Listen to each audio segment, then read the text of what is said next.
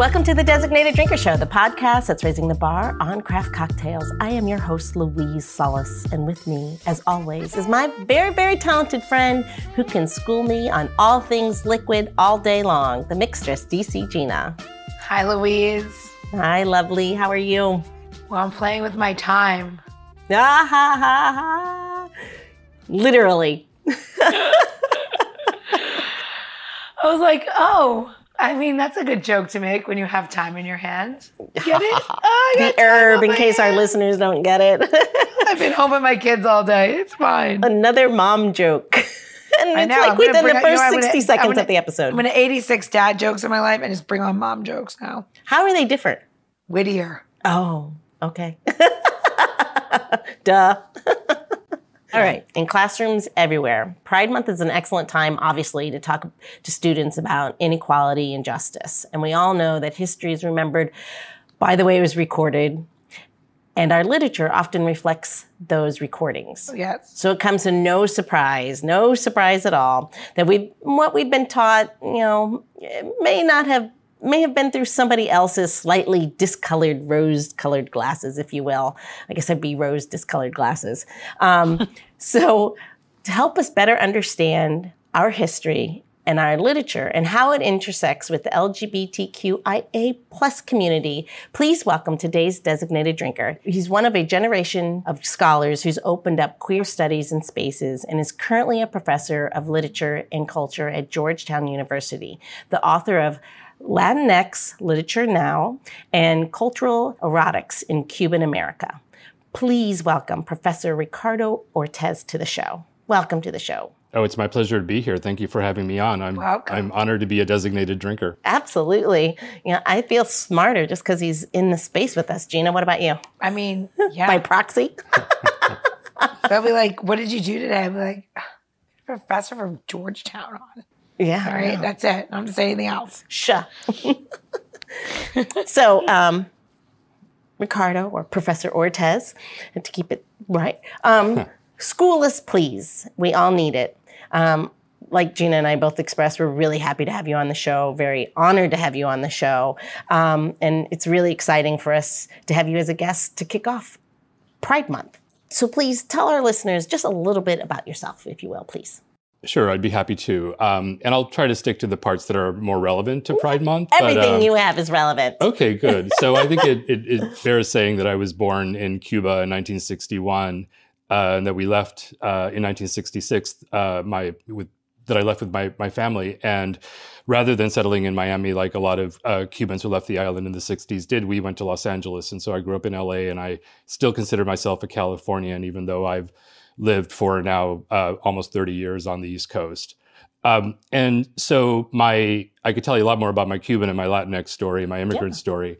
Um, but I can I can fold in the sort of the LGBTQ part pretty Absolutely. pretty quickly, right? Sure. So um, it, because I was born in this particular generation, I was uh, you know coming of age in the late '70s, early '80s. Uh, and went through college and even started grad school, still a little nervous about coming out, still a little nervous about identifying as gay first and then queer later. Um, but I also, you know, came up through my education as a really avid reader, as a lover of stories, and eventually a lover of literature.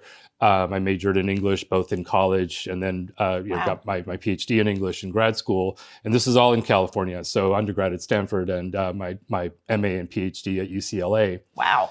Yeah. And um, so I, I, was lucky enough to be part of the generation, as you said in your intro, that um, found found it once you know we could embrace our identity and be out about who we were uh, found that there, it was possible to, to really start exploring, studying, analyzing representations of gender and sexuality in, in literature and culture and cultural representations more broadly in a way that felt like we were doing a lot of discovery work and even a lot of sort of invention work um, uh, in that time. And we were already sort of depending on on the, the legacies of some some folks who came before us who did some pioneering work, and I'm thinking about um, writers like Gloria Anzaldúa, Audre Lorde, uh, Gayle Rubin, and others.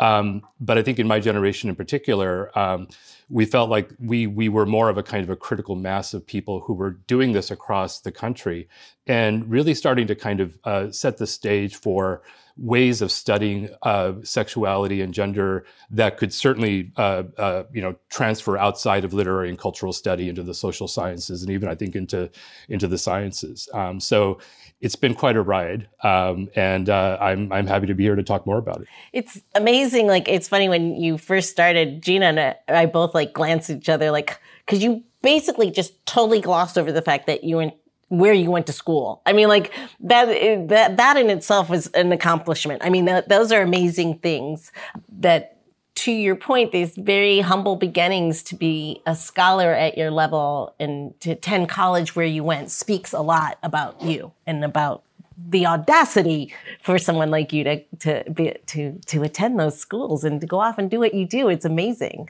That's very inspiring. Well, thank you. Yeah, Gina, do you want to say something? Yeah, I do. Um, I only went to Maryland. And like, I went to University of Maryland, and I tell everybody all about it. And I just literally, your pedigree almost fell down. I'm like, whatever. I'm like, I'm not going to say a thing on this episode because I have clearly no idea what I'm talking about. Oh no no no! Don't do Are you that. kidding? The- I went to liberal arts college in Detroit for automotive design. I am totally out uh, outnumbered here, but um, No, look, I fear the turtle. I, I love the University of Maryland. I have some great colleagues there. They have an excellent uh, Department of English, and I, I, th- I that sounds like a really beautiful pedigree to me. So just uh, let's start with that.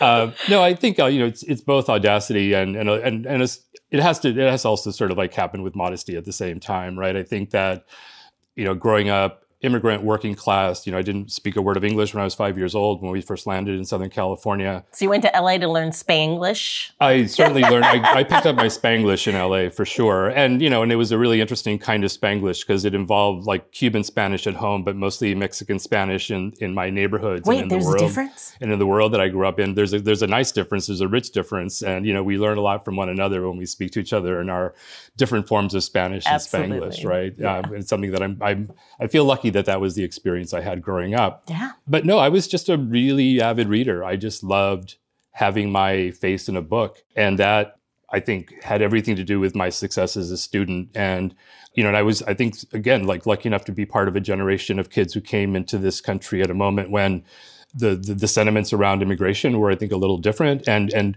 we as Cubans uh, were lucky to find, a, I think, a more welcoming platform uh, when we got here than a lot of other immigrants even back then.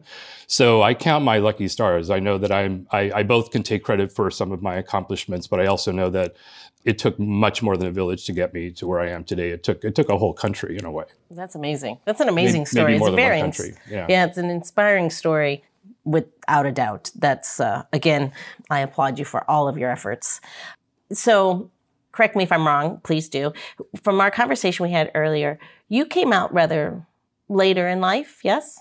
Well, relatively speaking, I, I think that um, you know, it, compared to to the way that that um, young people have the opportunity to know about about their gay identity and their you know their their LGBTQ identity in general um, these days, um, you know, my generation had nowhere near the kind of access to information and modeling and representation that's just so much more um, prevalent and and accessible today, right? And so, I I do sort of count myself as having come out a little later, in that I came out in my mid twenties, not my early twenties. That I came out in grad school and not in college. Um, even though you know, I think I was starting to experiment and starting to to sort of feel out um, what it would mean to be a gay man in the world when I was in college. Um, that it wasn't until I was in graduate school and you know living in LA and going to UCLA and and eventually moving to West Hollywood that I became a more public about my own identity, but then started to, to pursue it more as part of my scholar, scholarly interest and part of my my research uh, my research agenda. Absolutely. That, that it's it, it was funny when you said West West Hollywood, and I'm like, well, of course you came out in West Hollywood.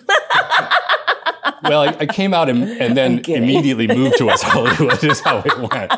If I if I like, isn't that part of the prereq to live in West Hollywood? yeah, if I'd moved to West Hollywood before coming out, it really that, that would have been an interesting sort of way to do it. But uh, but no, it was more you know, sort of just coming to to peace and acceptance, and and eventually, uh, you know, really uh, uh, pride and and and a sense of of, of gratitude for for the the the, the opportunity I've, I've, been given to have the, the life that I've had. Um, but but no, it was um, it took sort of having that kind of mental, emotional, sort of spiritual revolution in my own in my own mind and heart happened first, and then and then pursue the life, and then sort of like move move to move to the place where I could be myself and um, and and let that and let that take shape. Awesome. Uh, it's it's again incredibly inspiring. Of course, we know that there are. Literature you just go to shakespeare or anything that's common that the you know as common folk will have read or know of to see um, gay overtones or undertones maybe if you will within the literature. Can you tell us speak to us a little bit about what you teach and your approach to literature in those classrooms Sure, yeah. Lecture halls? Um, in particular, so um, I was hired at Georgetown in 1998 to teach US Latinx literature and culture, right? And so that's usually my frame of reference. But, you know, as you were saying, and as, you know, we spoke before, if you go back to earliest time, to the earliest forms of human storytelling, right? I mean, I think one of the sort of core themes that's always run through it is the the sort of the difficulty and the challenge, but also like the pleasure and the sort of um, uh, the beauty that comes out of being embodied beings, right? And one of the ways that we experience ourselves as embodied beings in the, in the most profound way, right, is through our sexuality, through the way that we think of ourselves as having a gender or having a sense of like what our anatomy means to us and, th- and to the world. Yeah. Before we start getting into, um, you know, really sort of basic foundational stories that that are about love and about pleasure and about desire and about power and about the way that all of those um, uh, interact with one another and create the sort of the larger kind of rich complexity of our lives, right? And so by the time you know you get to anything more like a more contemporarily defined literary uh, tradition, right, or literary project, um, it's you know it's impossible not to notice that that sex is everywhere, right? And of course it should be because it's everywhere in our lives. It's everywhere in in the space of our humanity, in the space of animal life in general. And so um, as you were saying earlier, I think that um, you know it was my generation that I think felt the the real sort of meaningful shift from thinking that there were only sort of acceptable ways acceptable ways of thinking about both sexuality and gender that were conventional and traditional and, and heteropatriarchal, cis heteropatriarchal, to beginning to see that actually no, there was a much broader, richer array of possibility in thinking through again, like for me, uh, what starts with with our sort of our condition as embodied beings, right?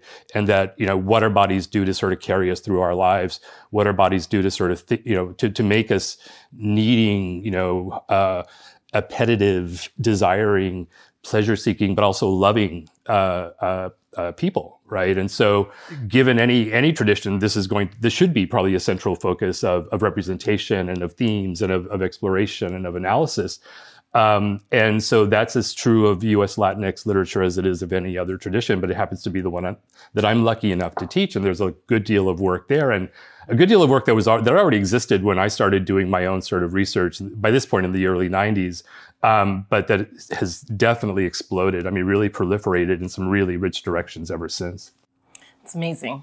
It's um, literature that I am personally not. I, I, don't have enough knowledge background. I, I need to read more. Um, I think I'm I'm very guilty on many levels of that of not reading enough. I'd probably be smarter. Obviously, Too if. I, maybe I'd be more like you. Uh, That'd be great. That's a good. That's a that's a good um, um, stake in the ground for me. Is be more like Cardo. Um, be more like Professor Ortiz. I, I don't know that I recommend that, but thank you. um, for our listeners who would be much like myself, who would just starting to to look into this genre of li- literature, where would one start? Is there a book that you would be like, here's a good place to start? Uh, that's a really that's a really great question. I think that there are many places places where one could start, but I I, I think that in some ways um, there's uh, you know a really foundational, influential book. Um, this is Gloria Anzaldua's Borderlands La Frontera. That's from the late 1980s, and it's a it's mixed genre. It's it actually is sort of philosophy and theory, but also poetry and memoir. And uh, so Anzaldúa is a sort of queer woman sort of from the borderlands of Texas uh, lesbian and with a certain inclination toward trans experience as well as a kind of um, what she would have called, I think, a marimacha. Just kind of set out almost what I would call a, a kind of manifesto, but in, in, in, in, the, in beautiful form. I mean, it's a really moving read. It's, it's one of those books that engrosses students and that really uh, sort of can transform um, in the way that she uh, translates and narrates her own sort of transformation of consciousness, right, of her mestiza consciousness, provides a model for other other young people, especially young readers, but I think any reader, right, um, who might be going through a certain a similar kind of transformation in their own terms, in the way they think about themselves across all of these uh, like you know categories of identity. So not just sexuality and gender, but also race, ethnicity, class, uh, migrant status. Absolutely transition is key in all parts of life. Yeah. And this is why we should have these conversations. Yes. Because it breaks down the barriers. We start seeing ourselves in each other. And I want to see more of myself in you because I want to be more like you. Uh, but we start seeing ourselves in other in, in each other and we start hearing the story and go, oh, that's my story. It's different. It's Yeah. it, you know, it's it's it's different, but it's the same. Yeah. And the more that we can have like that, my hope is the more barriers. I, th- it's what Gina and I set out to do with this with this series is really try to break down some of those barriers and see each other, sure. see each other for who we are, and that we're human and we have the same struggles Yeah. No, I, I agree with you, and I think that or you know, similar struggles. I Sure. Yeah. No. I mean, that, I think that makes a lot of sense, and I think that's. And again, it's it's not just Anzaldua's text, but I think for me, it really is almost like a kind of exemplary um, moment in this in this thing that we're talking about, where um, the majority of her students who who are going to her story aren't like her, and so in the in in in the way that she's managed to tell a story in which they can either find themselves or find a path for themselves um, I think is is one of the extraordinary things about it. And again, you know, I, I sort of I do want to um, make a claim for the way that literature does this in a particular way that's different. I, I think that there are ways that that you can get this out of history, and I think that there are ways that you can get this even out of philosophy. But I think that literature is um, unique in its capacity for doing this, even if it's only because it's made up and it's playful. But there's also what happens when you're just uh, encountering the work of a writer who's taken the time and the energy and followed the inspiration to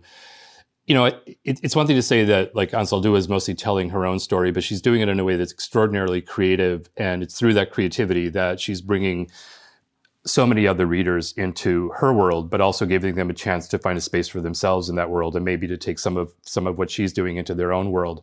That process is something that I think is bigger than just when people are telling their own actual story, and this is why I think in some ways literature has a kind of unique capacity. And when I say lit- literature, I sort of mean the literary in general. I do mean creativity. I mean the imagination. I mean what happens when artists decide that rather than just narrate their lives, they're going to create other people and create other stories and try to engage their readers through a kind of shared act of imagination where, yes, it may be the writer who's kind of creating something initially, but when the reader gets to somebody else's work, they, they can't possibly know what the writer had in mind. They can only see the words on the page, and from that, have their own images, have their own sense of, of what that world would look like, right? Because the, the writer's not showing them a world, the writer's just giving them words, sharing a story, and giving them the opportunity to actually then be a creator, a, a creator as well. So I, I love that. I think that that's a really powerful capacity that we have as the kind of human beings that we are. And you know perhaps that kind of practice also start, started in groups where people spoke the same language and where there was a sense of commonality and people told told one another the same stories as a way of feeling like they had common experiences and a common set of qualities that made them into a community and to yeah and connected them to one another.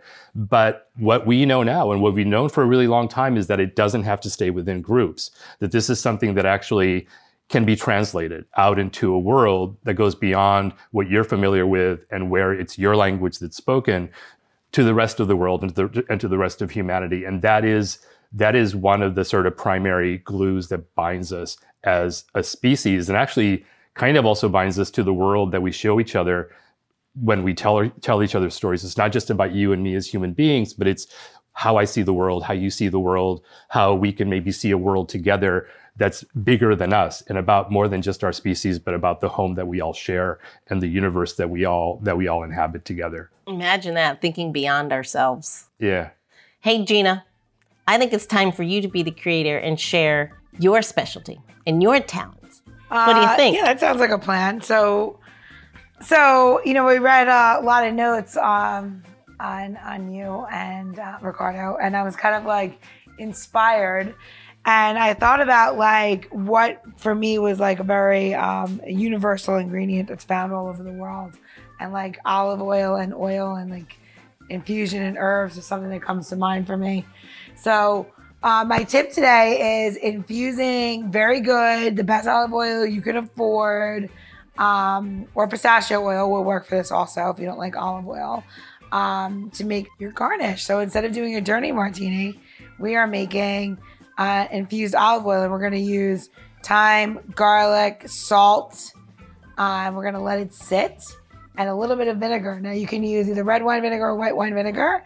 And we're going to make it, we're going to let it sit. And then in um, our next episode, we'll use it. And then what you have is this just a beautiful infusion that we're going to float on top of our cocktail for a little bit of a sophisticate of a, of a very uh, classic martini. So you can have things that are different and yet be very much the same. That's fantastic. Um, I have to say, obviously, olive oil is such a basic ingredient in so much Cuban cuisine that it's one of those things that just sort of makes me feel like I'm at home. And and for whatever reason, we we we love vinegar too. So it's fun. It's a good way to bring everything together. And I think that's the whole point, right? Is like how you make togetherness happen. And and all these things are so different and then they work. and they work. You know, and, and I think it's it is that larger point about creativity. I, I love watching a mixologist uh, have that kind of pride in their work, right? And and to have that kind of ingenuity. And uh, the drink is a story, right? And unto itself. And and it and once one has had one or two of them, maybe that'll lead to other stories. Yes, was, yeah, I was going to say I'm pretty I'm pretty sure alcohol has played a very long, long history in storytelling. Uh, oh, absolutely. That's been documented a bit too. I mean, just a bit, just a bit. I think writers should be a little bit more honest about what what condition they're in where they're doing their best work. I think it'd make us all better people if that happened more often. Absolutely. Yeah. It's not it's not about the grammar, it's like getting solid meat out when you're Yeah. like on the other on the other side of it. Yeah, yeah. No, Oh, you, yeah. you really you have to let the spirit move you. I think Oh, he's speaking our language, through you. Gina. wherever you can find it. Yeah.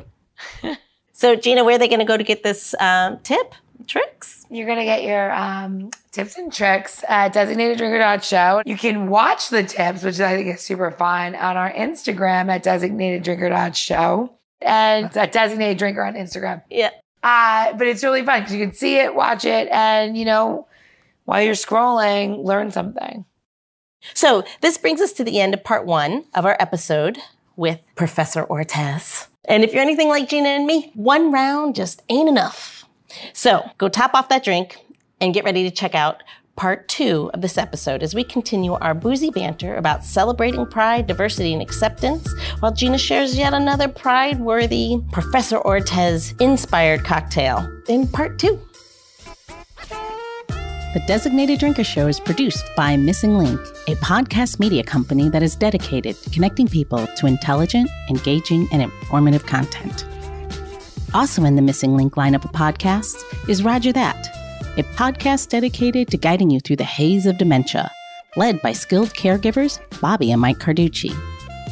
Now, if you're looking for a whole new way to enjoy the theater, check out Between Acts, an immersive audio theater podcast experience. Each episode takes you on a spellbinding journey through the works of newfound playwrights, from dramas to comedies and everything in between. Find Missing Links League of Podcasts on Apple Podcasts, Spotify, or wherever you find your podcasts. Please don't forget to subscribe, download, and review the shows. Your review helps our shows reach new audiences. To find out more about Missing Link, visit missinglink.company. That's missinglink.company.